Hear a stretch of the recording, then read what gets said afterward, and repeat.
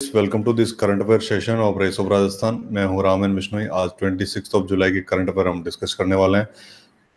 तो इस सेशन की PDF Race of Rajasthan dot com ये वेबसाइट है। यहाँ से डाउनलोड कर सकते हैं। इसके अलावा ये ट्विटर हैंडल है और फेसबुक पेज है। इन तीनों प्लेटफॉर्म पे हम शेयर करते हैं। तो यहाँ से आप डाउनलोड कर लें। तो सबसे पहले हम कल के क्वेश्चन लेते हैं। कल दो क्वेश्चन छोड़े थे करंट अफेयर सेशन के अंदर। तो दो क्वेश्चन हम पहले डिस्कस करते हैं डिटेल के अंदर। तो कल हमने बात करी थी ब्रीफली चोला किंगडम के बारे में। और चोला किंगडम के बारे में कल हमने देखा था कि उनके जो कंटेम्प्रेरी थे, उन कंटेम्प्रेरीज के अंदर जो चेरा से चेरा, वो केरला साइड में, जैसे साउथ इंडिया का अगर इस साइड इस तरह से मैप अगर देखेंगे तो ये जो पार्ट जो था, ये चेरा की रूलिंग में आता था। इसके अलावा ये वाला जो पार्ट था, जो तमिलनाडु वाला जो पार्ट था, वो पांड्यास के कंट्रोल में था। पांड्या पांड्यास से ओवर द टाइम इन्होंने चोला ने जो है, ये टेरिटरी जो है एक्वायर करी और चेरा से भी ये टेरिटरी एक्वायर करी। तो चोला जो है खासकर आंध्र प्रदेश स्टार्ट जो है इनका किंगडम आंध्र प्रदेश और इस जो, जो पल्लव जहाँ पे पहले रूल करते थे वहाँ से स्टार्ट हुआ था। और दो ओवर द टाइम इन्होंने पांड्यास की टेरिटरी यहाँ से कैप्चर करी। तो पांड्या जो है आंध्र प्रदेश से यहाँ से नहीं बिलोंग करते। तो definitely Chera that is Kerala and Chola kingdom जो स्टार्ट हुई थी दैट इज़ फ्रॉम मदुरई ठीक है तो इसका करेक्ट आंसर है A next question next question कल हमने बात करी थी मुद्रा बैंक की। अब मुद्रा बैंक के अंदर दो स्टेटमेंट है। Mudra Bank will work under the Small Industries Development Bank of India SIDBI ठीक है तो इसके अंदर बड़ा कंफ्यूजन होता है हर बार कि लोग जो है इसको कंफ्यूज करने के लिए नाबार्ड के साथ जोड़ देते हैं। तो इसके अंदर बिल्कुल क्लियर ध्यान रखना है कि जो मुद्रा बैंक है, वो सिडबी के अंडर काम करता है और ये स्मॉल इंडस्ट्रीज़ डेवलपमेंट बैंक इसकी जो है आप ये कह सकते हो एक एक ओवर आर्चिंग बॉडी है जिसके अंडर जो है ये मुद्रा बैंक काम करता है। ठीक है नाबार्ड एक अलग इंस्टीट्यूशन है नाबार्ड का जो है अलग रूलिंग है नाबार्ड की अलग जो है फंक्शनिंग है। नेक्स्ट स्टेटमेंट तो ये स्टेटमेंट करेक्ट है next statement Mudra Bank has been started with an initial corpus of twenty thousand crore which ठीक है, अब इनमें से कौन सा स्टेटमेंट सही है? तो ये दोनों स्टेटमेंट सही है। मुद्रा बैंक जब स्टार्ट हुआ था ना, वो बीस हज़ार करोड़ के जो कॉप्स के साथ में स्टार्ट हुआ और अभी ओवर द टाइम जो है, इसकी कैपेसिटी ओवर द टाइम बढ़ गई है। आपको पता होगा कि इसने लार्ज स्केल पे जो है, अभी फंडिंग करी है। तो ये थाउज़ेंड करोड़ से बढ़कर अभी जो है, अभी इनकी funding lakhs in lakhs of crore हो गई है। तो स्टार्टिंग का पूछा है? तो दोनों स्टेटमेंट यहाँ पे करेक्ट होते हैं। करेक्ट आंसर इसका सी है नेक्स्ट यहाँ पे जो है, दो न्यूज़ है रिप्रेजेंटेटिव पिक्चर है तो यहाँ से देखते हैं क्या ये इन्फॉर्मेशन कन्वे कर रही है। एक तो जो है, पाकिस्तान पाकिस्तान के अंदर आपको पता है, पाकिस्तान के अंदर इलेक्शन हुए थे कल, पाकिस्तान के अंदर जनरल इलेक्शन हुए। तो डेफिनेटली नेबरिंग कंट्री है और नेबरिंग कंट्री के साथ रिलेशन बहुत ज़्यादा अच्छे नहीं है। तो उस परस्पेक्टिव से हमारे लिए भी इम्पोर्टेंट हो जाता है कि पाकिस्तान के अंदर इलेक्शन हो रहे हैं और तो वहाँ पे कौन जीत के आ रहा है, क्योंकि वहाँ पे अलग अलग फैक्शंस बने हुए हैं। ठीक है तो वहाँ पे आपको पता होगा हाफिज सईद भी जो है वो इलेक्शन लड़ रहे हैं मतलब डायरेक्टली नहीं लड़ रहे हैं बट उनकी अपनी जो पार्टी है पार्टी के थ्रू वो इलेक्शन लड़ रहे हैं। तो कहने का मतलब है कि पाकिस्तानी पॉलिटिकल सिनारियों के अंदर ऐसे लोग भी जो है इलेक्शन लड़ रहे हैं, जो कि डेफिनेटली इंडिया के कम्प्लीटली अगेंस्ट है। तो उस परस्पेक्टिव से इंडिया की नज़र भी वहाँ पे होनी ज़रूरी है। दूसरा जो डेमोक्रेटिक ट्रांजिशन है डेमोक्रेटिक ट्रांजिशन वो पाकिस्तान के अंदर ये इस तरीके की जो आप ये कह सकते हो कि एक्सेप्शनल घटना है, क्योंकि अभी तक पाकिस्तान बनने के बाद में लार्ज स्केल पे डेमोक्रेट डेमोक्रेटिक ट्रांजिशन जो है वो ये दूसरी, तीसरी बार ही हो रहा है। उससे पहले जो है मिलिट्री इंटरवेंशन होते रहे और उस तरीके से पावर ट्रांसफ़र होती है। तो ये पहली बार जब ट्रांसफ़र इस तरीके का जो एक्टिविटी जो है वो सक्सेसफुली हो रही है तो इसको इसके ऊपर डेफिनेटली नज़रें हैं, पूरी दुनिया की नज़रें हैं कि कैसे यहाँ पे तो यहाँ पे अभी जो है रिसेंट जो रिज़ल्ट आ रहे हैं, उसके हिसाब से जो इमरान खान की जो पार्टी है, वो जीतती हुई दिखाई दे रही है। तो देखते हैं कि आने वाले टाइम के अंदर कौन वहाँ पे गवर्नमेंट बनाता है और आने वाले टाइम के अंदर इंडिया और पाकिस्तान के रिलेशनशिप कैसे होते हैं। तो यहाँ पे जो पिक्चर है, वो आप देख सकते हैं कि क्या हालत है। तो डेफिनेटली पिक्चर जो है इंडिया की ही होगी। और इंडिया के अंदर ये ये पिक्चर सिर्फ़ पर्टिकुलर किसी स्टेट को रिप्रेजेंट नहीं करते ये यहाँ पे बेसिकली क्या है ये महाराष्ट्र के अंदर मराठा कम्युनिटी जो है वो रिजर्वेशन को लेके वहाँ पे बात चल रही है। तो ये बड़ा ही एक क्वेश्चन मार्क वाला एक होलिस्टिक परस्पेक्टिव में एक व्यू जाता है कि मतलब डेफिनेटली uh, रिजर्वेशन की बात हो रही है तो यहाँ पे गवर्नमेंट uh, जॉब्स uh, को लेके बात हो रही है गवर्नमेंट जॉब्स के अंदर रिजर्वेशन को लेके बात हो रही है। तो डायबोलिकल व्यू है। अब डायबोलिकल व्यू के अंदर एक व्यू तो ये है कि डेफिनेटली रिजर्वेशन का जो फंडामेंटल है उसके ऊपर अपने आप में एक क्वेश्चन मार्क उठता है। दूसरा जो फंडामेंटल है, दूसरा फंडामेंटल ये है कि एजुकेटेड यूथ है। ये सभी लोग पढ़े लिखे हैं, ठीक है, जो भी इनकी एजुकेशन हुई एजुकेटेड यूथ है, वो इस तरीके से जो उनका रिप्रेजेंटेशन है, वो एक सही नहीं है और डेफिनेटली जो एक कहा जाता है कि अनएम्प्लॉयमेंट जो है और अनएम्प्लॉयड यूथ जो है, वो मतलब आप जो है वो हानिकारक ज़्यादा होता है रादर देन प्रोडक्टिव तो ये जो इस इस परस्पेक्टिव में डेफिनेटली गवर्नमेंट को बिल्कुल सोचना चाहिए और अपीजमेंट की अपीजमेंट के परस्पेक्टिव में अपीज ना करे, ये रिजर्वेशन देके ये अपीजमेंट वाली पॉलिसी के बजाय पॉलिटिकल गेम्स की बजाय रियल में रियल में वहाँ पे जो है जॉब जनरेट हो और जॉब जनरेट होने से डेफिनेटली लोग अपनी वर्किंग कंडीशन में इन्वॉल्व होंगे। तो इस तरीके की एक्टिविटीज़ को डेफिनेटली डिनाउंस किया जाएगा। तो डेफिनेटली यहाँ पे जो है थोड़ी सोचने वाली बात है एज ए एस्पिरेंट हमारे दिमाग में भी ये चीज़ आनी चाहिए कि, कि किस पॉइंट ऑफ़ व्यू से जो है जो लोग है किस पॉइंट ऑफ़ व्यू से जो यूथ है वो कितना इजीली आजकल जो है वो कैरिड अवे हो जाता है इनके पॉलिटिकल मोटिवेशन से और लोगों के जो पॉलिटिकल जो प्रोपेगेंडा है उसमें कितना इजीली जो है वो डेफिनेटली जो है यहाँ पे कैरिड अवे हो जाते हैं।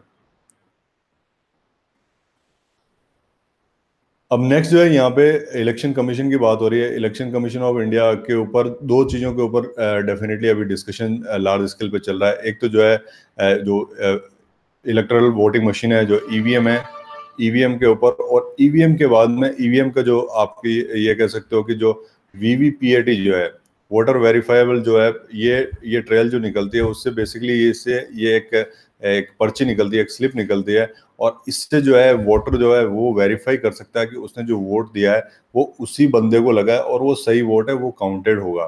ठीक है तो इस, इन मशीनों के लिए ये इलेक्शन कमीशन ऑफ़ इंडिया ने ये कहा है।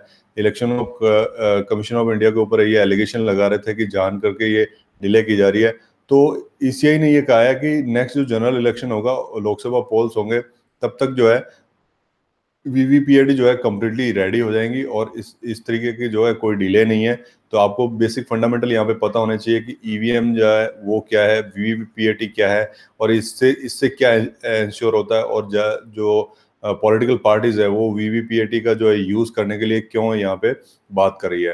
ठीक है तो ये बेसिक फंडामेंटल यहाँ से आपको कैरी करना है। अब नेक्स्ट यहाँ पे जो है बात हो रही है पार्लियामेंट अभी मानसून सेशन चल रहा है। मानसून सेशन के अंदर हमने जो है डिस्कशन किया था पीछे के सेशन के अंदर, जिसके अंदर नो कॉन्फिडेंस मोशन की बात करी थी। उसके बाद अभी रिसेंटली जो लास्ट सेशन के अंदर हमने बात करी थी प्रिविलेज मोशन की। ठीक है, अब प्रिविलेज मोशन के अंदर बेसिकली प्रिविलेज मोशन मूव तो कर दिया जाता है। उसके अंदर बेसिकली फंडामेंटल क्या है कि ये किस वजह से किया जाता है कि अगर कोई पार्लियामेंट के अंदर कोई मेंबर कोई गलत इंफॉर्मेशन दे रहा है या कोई इंफॉर्मेशन छुपा रहा है तो उस उस परस्पेक्टिव में उसके अगेंस्ट कोई भी मेंबर जो है प्रिविलेज मोशन ला सकता है।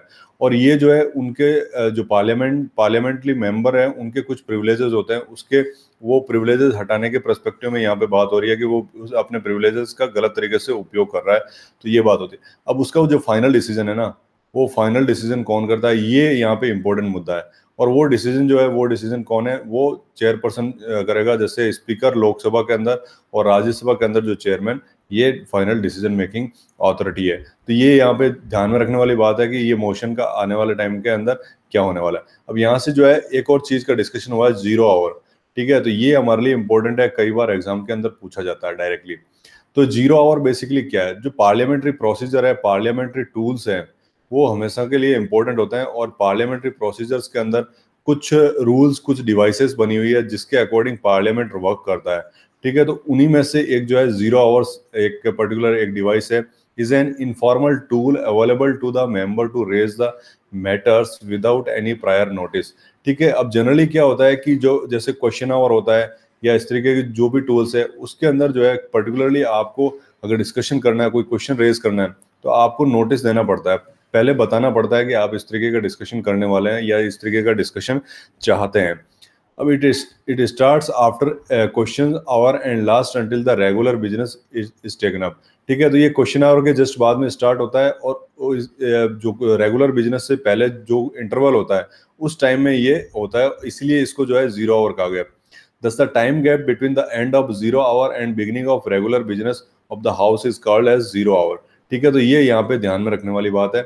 और ये it is not mentioned in any rule book but it is there in in existence since 1962 by convention तो ये कन्वेंशन के तौर पे किसी रूल बुक में नहीं लिखा हुआ है। तो ये फंडामेंटल चीज़ कई बार एग्ज़ाम में पूछी जाती है कि ज़ीरो और जो है वो पार्लियामेंट्री प्रोसीजर के अंदर मैंशन है या नहीं है। तो इसको आप ये कह सकते हो कि ये पार्लियामेंट्री प्रोसीजर के अंदर एक इंडियन इनोवेशन है जिसके अंदर आ, हमारी पार्लियामेंट ने इस तरीके का एक इनोवेशन किया है कि अगर कोई पब्लिक इंपॉर्टेंस का कोई मैटर हो और उसको अगर पार्लियामेंट के अंदर डिस्कशन करना हो तो वो जीरा और के अंदर डिस्कशन किया जा सकता है। अब नेक्स्ट यहाँ पे बात करते हैं नेक्स्ट हमारे पीएम की अफ्रीका विज़िट चल रही है। तो अफ्रीका दौरे के अंदर जो है काफ़ी इंपॉर्टेंट यहाँ पे एग्रीमेंट्स हो रहे हैं और इस, इसी पॉइंट ऑफ़ व्यू से बात की जा रही है। तो यहाँ पे दो तीन चीज़ें यहाँ पे बात हो रही है कि युगांडा के अंदर हमारे पीएम ने यहाँ पे कहा है कि it is as a non as a pearl of Africa तो ठीक है, यहाँ पे काफ़ी प्रस्पेक्टिव में यहाँ पे देखा जा रहा है कि जो रवांडा है युगांडा यहाँ पे इनकी विज़िट हुई है तो लार्ज स्केल पे वहाँ पे डील हुई है और एक तरीके से जो पीपल टू पीपल कांटेक्ट है पीपल टू पीपल कांटेक्ट और ट्रेड को जो है बूस्ट करने के लिए ये दो चीज़ों पे लार्ज स्केल पे यहाँ पे एम हुए हैं लार्ज स्केल पे यहाँ पे ट्रांजेक्शन हुए हैं। तो ये चीज़ यहाँ पे देखने वाली है। नेक्स्ट हम जब आ, हमारा जो नेक्स्ट सेशन एडिटोरियल होगा तो एडिटोरियल के अंदर अफ्रीका और इंडिया के जो खास रिलेशनशिप से जुड़ा हुआ एक अच्छा एडिटोरियल है तो इसके बारे में और डिटेल में डिस्कशन करेंगे जिसके अंदर प्रोजेक्ट मौसम है उसके बारे में बात करेंगे और जो आ, इंडिया के और फॉरम है उस परस्पेक्टिव में भी जो है डिटेल के अंदर बात करेंगे कि इस तरीके से जो है इंडिया के किस तरीके से अफ्रीका के साथ कनेक्ट हो रहा है।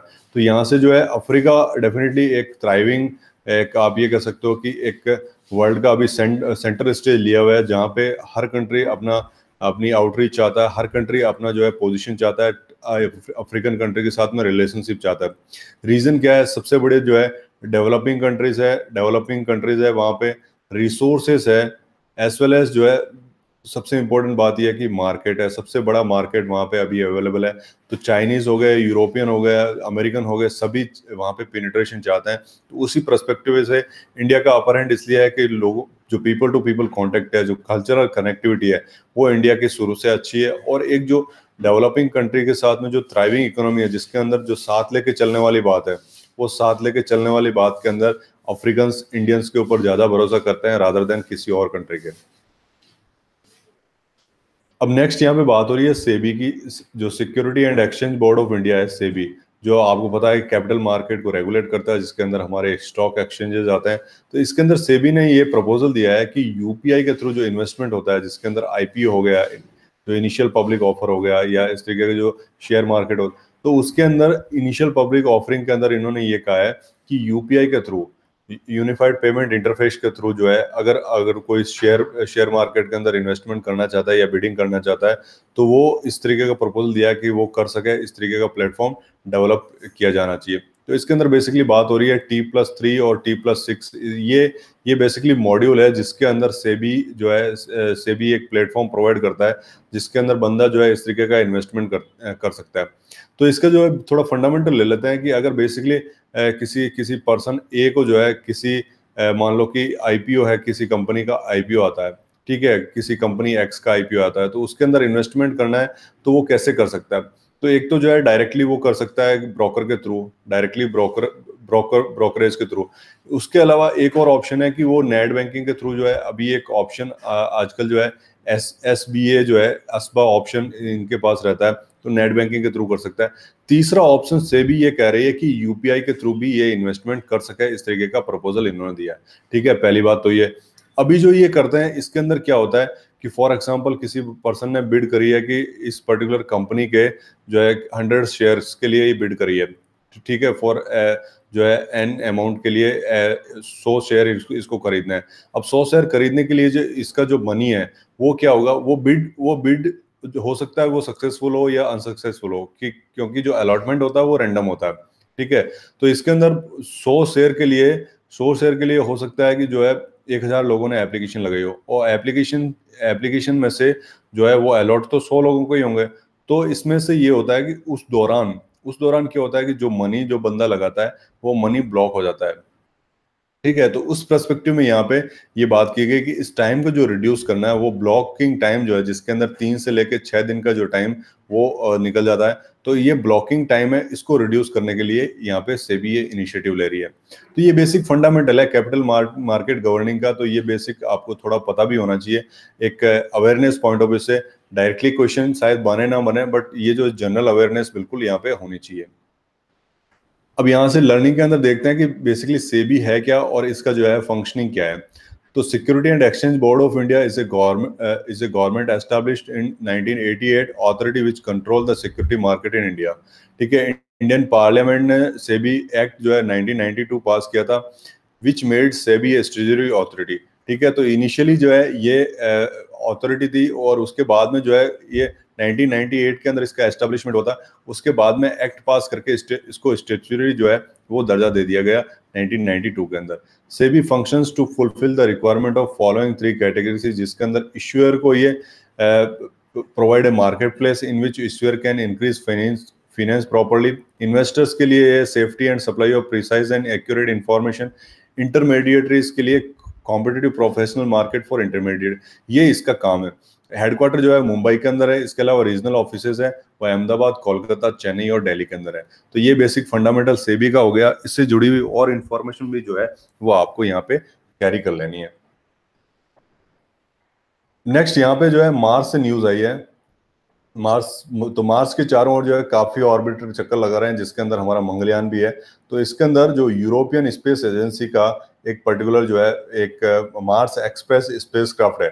वो उसकी जो डेटा है, उससे रिलेटेड एक पेपर पब्लिश हुआ है और इसके अंदर ये कहा है कि मार्स के जो नॉर्थ पोल है, नॉर्थ पोल के अंदर इस तरीके का जो एक वहाँ पे एक, आप ये कह सकते हो कि खोज इस तरीके की हुई है कि वहाँ पे सब ग्लेशियल लेक जो है, वो वहाँ पे पाई जाने की संभावना वहाँ पे जताई जा रही है नॉर्थ पोल के ऊपर और जो अंडरग्राउंड में वहाँ पे ये बताया जा रहा है कि लेक है और लेक के अंदर जो है, वहाँ पे पॉसिबिलिटीज ये है पॉसिबिलिटीज ये है कि वहाँ पे जो इस तरीके का आ, आ, हो सकता है कि वहाँ पे लाइफ जो है वो लाइफ थ्राइव कर रही हो किसी फॉर्म के अंदर।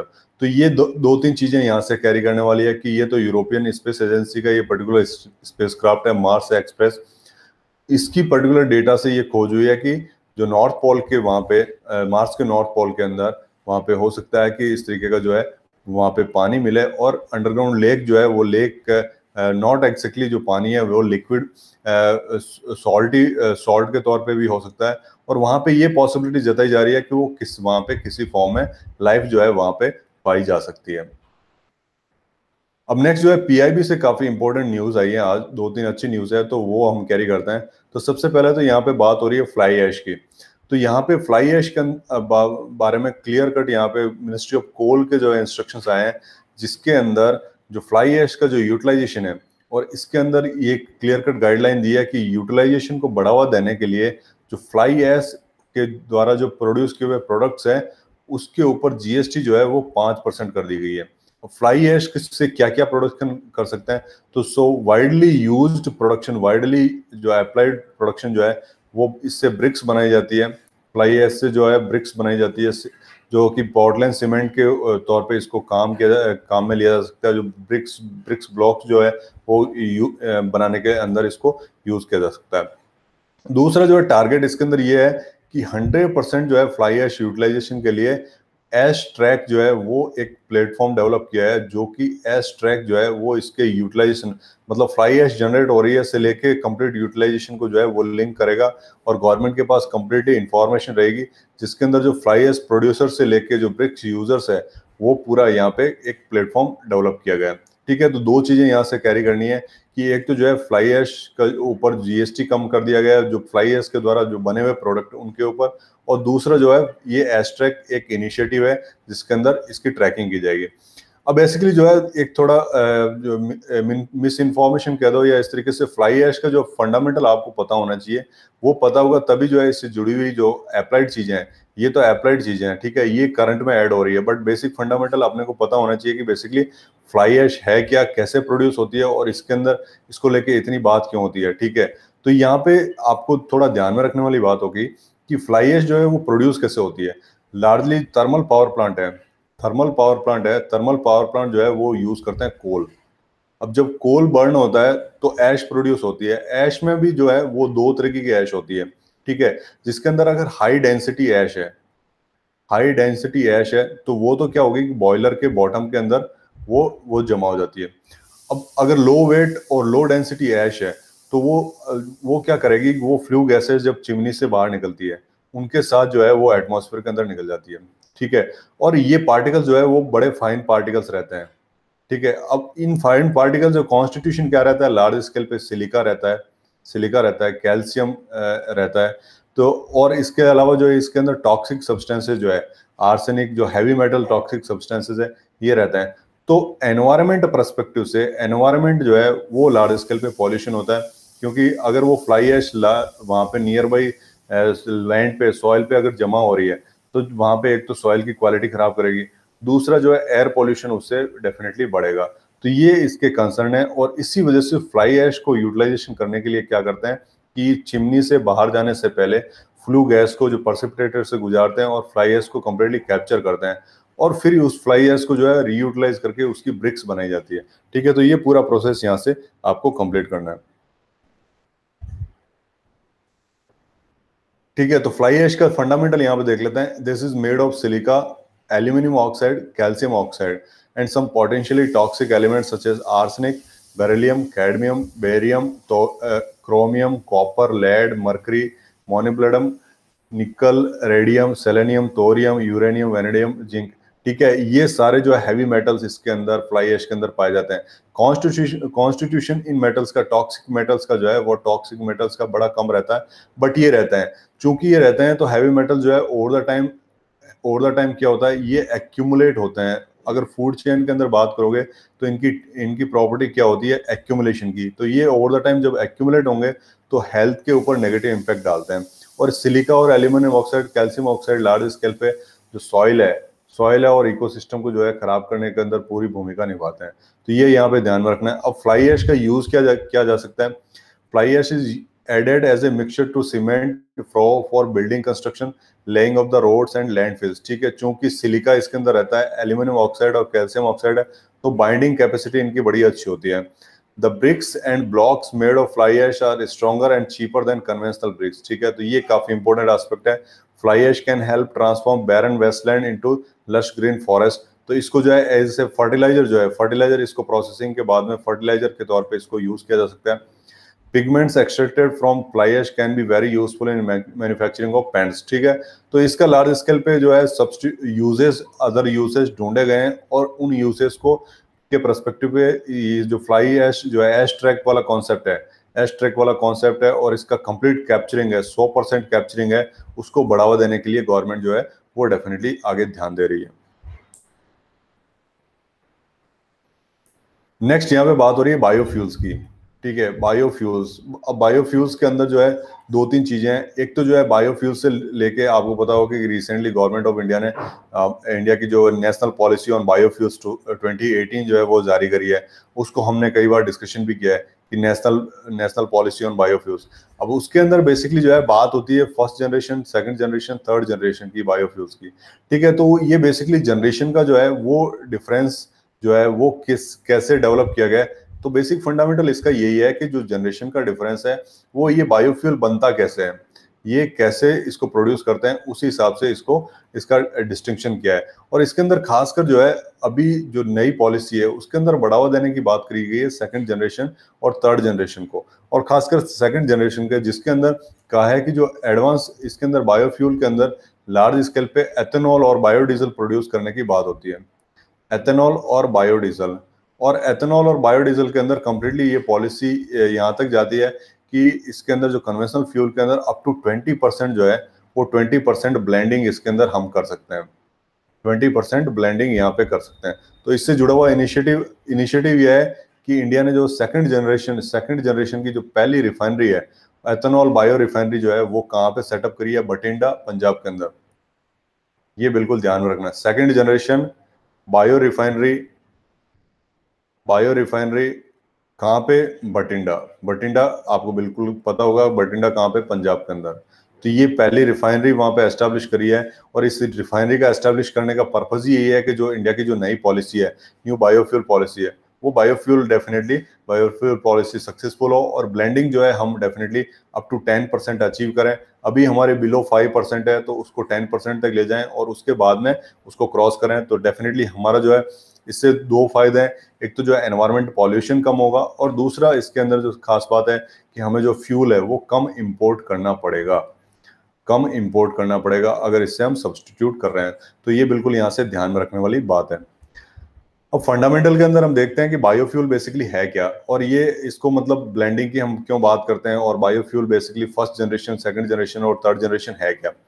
तो first generation biofuel were directly use using the food crop like wheat and sugar for making ethanol and oil seeds for biodiesel by conventional method of fermentation and these fuel emitted more greenhouse gases ठीक है तो first generation को इसलिए discourage किया जा रहा है कि एक तो जो है ये फ़ूड क्रॉप यूज़ करता है ठीक है फ़ूड क्रॉप यूज़ करता है अब फ़ूड क्रॉप यूज़ करता है तो यहाँ पे जो है ना एक एक डायबोलिकल सिचुएशन बन जाती है कि आदमी खाने के लिए खाने के लिए ये क्रॉप प्रोड्यूस कर रहा है या फिर तेल बनाने के लिए ठीक है तो यहाँ पे ये चीज़ जो है वो इम्पोर्टेंट है क्योंकि इंडिया जैसे कंट्री के अंदर जहाँ पे लोगों को जो है दो टाइम का खाना नहीं मिलता, वहाँ पे अगर आप जो खाने की जो क्रॉप्स है, उसको आप तेल बनाने के लिए डाइवर्ट करेंगे तो वो अपने आप में जो है एक बड़ी चैलेंजिंग सिचुएशन होगी। तो इसीलिए भी जो है एक बहुत बड़ा कारण है कि सेकंड जनरेशन के ऊपर हम शिफ्ट करें, जिसके अंदर नॉन फ़ूड क्रॉप्स है और feed stock instead of food crops as use in the first generation wood grass seed crops organic waste are use in the fuel preparation ये इसकी खास बात है। और थर्ड जनरेशन के अंदर जो है इसके अंदर जेनेटिकली मॉडिफाइड जो इंजीनियर्ड एल्गा जो है वो यूज़ किया जाता है whose biomass is use to convert the biofuels and the green house gas emission here is low in comparison to other अब इसके अंदर खास बात क्या है कि ये ये अभी जो है कॉमर्शियली ये टेक्निक टे, जो टेक्नोलॉजी है थर्ड जनरेशन की अवेलेबल नहीं है ये अभी रिसर्च फ़ेज़ के अंदर है। ठीक है तो कॉमर्शियली फ़र्स्ट जनरेशन से प्रोड्यूस किया गया था। सेकंड जनरेशन की जो है, पहली रिफाइनरी इंडिया के अंदर बटिंडा के अंदर लग चुकी है। तो ये फंडामेंटल अपने को यहाँ से कैरी करना है। अब नेक्स्ट जो है, यहाँ पे बात हो रही है न्यूट्रिशन की और न्यूट्रिशन के अंदर जो है, पोषण अभियान की बात हो रही है। पोषण अभियान की, ठीक है? तो पोषण अभियान से फंडामेंटल हमें बिल्कुल एग्ज़ाम पॉइंट ऑफ़ व्यू से एक्सट्रीमली इंपॉर्टेंट है और ये फंडामेंटल हमें यहाँ से कैरी करना है। और ऑब्जेक्टिवली इसकी जो मान्यूट से मान्यूट डिटेल है, वो बिल्कुल आपको पता होनी चाहिए। तो पोषण अभियान से जुड़ी हुई जो है, सारी डिटेल यहाँ पे डिस्कस डिस्कस करते हैं कि ये बेसिकली क्या है। तो प्राइम मिनिस्टर ने जो है, ये स्कीम होलिस्टिक न्यूट्रिशन स्कीम जो है, ये लॉन्च करी थी राजस्थान झुंझुनू से। ये 2018 के अंदर it aims to ensure holistic development and adequate nutrition for pregnant woman mothers and children ठीक है? ये तीन कैटेगरी को यहाँ पे लार्ज स्केल पे, जो है, वहाँ पे यहाँ पे न्यूट्रिशन है, जो है, वहाँ सुधारने की यहाँ पे बात करी है। तो पहला जो है टारगेट क्या है? Prevent and reduce stunting in children जो कि ज़ीरो से छह साल के, उनके अंदर छह परसेंट से दो परसेंट पर एनम के हिसाब से जो है, वो रिड्यूस करनी है। दूसरा prevent and reduce under nutrition underweight prevalence in children जो कि ज़ीरो से छह उनमें भी छह से दो परसेंट पर एनम के हिसाब से रिड्यूस करनी है। Reduce the prevalence of anaemia among young young children जो कि six to fifty nine months जो है by nine to nine nine nine percent जो कि थ्री परसेंट पर एनम के हिसाब से। और ये टारगेट जो है ना, ये 2022 तक के टारगेट इन्होंने सेट किए हैं। Reduce the prevalence of anaemia among woman and adult girl in age of 15 to 49 year जो कि 3 परसेंट पर एनम के हिसाब से रिड्यूस करने और रिड्यूस लो बर्थ वेट जो कि 2 परसेंट पर एनम के हिसाब से रिड्यूस करना है। ये तो टारगेट है कि यहाँ पे अचीव कर अचीव करना है और ये रिडक्शन रेट है। तो ये इस तरीके का पहला आप ये कह सकते हो कि गवर्नमेंट ऑफ़ इंडिया की स्कीम है, जिसके अंदर एक तो टारगेट सेट किया है कि ये टारगेट है और इस टारगेट को अचीव करने के लिए पर एनम हमारा टारगेट क्या होगा? Per annum rate of reduction क्या होगी? ये भी साथ में बताई गई है। तो ये ऑब्जेक्टिवली आपको पता होना चाहिए कि किस किस कैटेगरी को किस किस परस्पेक्टिव में कितना कितना जो है रिडक्शन के यहाँ पे टारगेट गवर्नमेंट ऑफ़ इंडिया ने सेट किया है। कारण क्या है? कारण यह है कि इसकी वजह से जो हमारा ह्यूमन डेवलपमेंट इंडेक्स है ह्यूमन डेवलपमेंट इंडेक्स है और दूसरे जो एक सोसाइटी के अंदर एक एक कह सक, कह सकते हो कि अनहेल्दी सोसाइटी अनहेल्दी इंडिया के एक एक लास्ट ईयर एक बहुत अच्छा आर्टिकल आया था, जिसके अंदर ये बात हुई थी कि are we going for unhealthy India ठीक है अनहेल्दी जनरेशन की आने वाले टाइम के अंदर क्या है कि इस तरीके से अगर महिलाओं की और बच्चों की जो एनीमिया वाली सिचुएशन है महिलाओं की और बच्चियों की एनिमी वाली सिचुएशन है तो आने वाली जो जनरेशन है, वो जनरेशन लार्ज स्केल पे जो है, वो अनहेल्दी जो है, वो जनरेशन होने वाली है, जिसके ऊपर जो है, वो डिसीज बर्डन इंडिया के ऊपर डेवलपमेंट हम, हो सकता है इकोनॉमिक डेवलपमेंट हमारी जीडीपी ग्रोथ रेट डेफिनेटली हमारी अच्छी हो जाए बट इंडिया जो है, वो अनहेल्दी इंडिया होगा। तो उसी परस्पेक्टिव से ये इंटरवेंशन गवर्नमेंट ऑफ़ इंडिया का इंटरवेंशन है और काफ़ी अच्छा इंटरवेंशन है जिसके अंदर लार्ज स्केल पे जो इंटीग्रेटेड चाइल्ड डेवलपमेंट प्लान है और जो होलिस्टिक जो अम्ब्रेला प्रोग्राम है उनको इसके अंदर इंक्लूड करके जो एक ब्रॉडर परस्पेक्टिव जो है इंडिया वाइड इसके अंदर देने की कोशिश करी गई है Lastly, question of the day. पहला question with reference to fly ash produced by the power plant using the coal as a fuel, which of the following statement are correct? ठीक है तो करेक्टली यहाँ पे पूछा गया है कि फ्लाई एश अगर जो है, वो पावर प्लांट से अगर निकल रही है तो उसके बारे में तीन स्टेटमेंट है। Fly ash can be use in the production of bricks for building construction fly ash can be use as a replacement for some of the Portland cement content of concrete fly ash is made up of the silicon oxide and calcium oxide only and does not contain any toxic elements ठीक है? तो ये आप इसको mark कर लो, ये UPSC जो है आई थिंक 2015 या 2016 का जो प्री का क्वेश्चन है, यहाँ से जो है बिल्कुल आप ये देख सकते हो कि इस तरीके का क्वेश्चन जो है ऑब्जेक्टिवली यूपीएससी पूछती है, उनके आस्किंग रेट जो है बिल्कुल यहाँ से समझ समझ में आ गई होगी। तो उसी को मैच करने के लिए जो है अपनी कंप्लीट लर्निंग जो है, वो लर्निंग इसी परस्पेक्टिव से अपन लेके आते हैं कि आपको जो बेसिक फंडामेंटल वहाँ से पूरा पता चल जाए कि चीज़ें क्या चल रही है और क्या होलिस्टिक इसका आउटलुक है। Next question consider the following statement SEBI is a statutory body the chairman who is nominated by RBI ठीक है? तो दो स्टेटमेंट है। सिंपल है बट इसके बारे में आपको कंप्लीट डिटेल लेने के बाद में जो है इसका आंसरिंग करनी है और डिटेल के साथ में इसका जो है कमेंट बॉक्स में आपको बताना है। करेक्ट आंसर तो guys that's all thank you very much subscribe like and share and definitely comment करके आपको बताना है। करेक्ट आंसर बताना है। करेक्ट आंसर विद डिटेल आपको बताना है। और आप अपनी राय और ओपिनियन जो है वो डेफिनेटली इस सेशन के बारे में दे सकते हैं। So guys thank you very much मिलते हैं अगले सेशन के अंदर।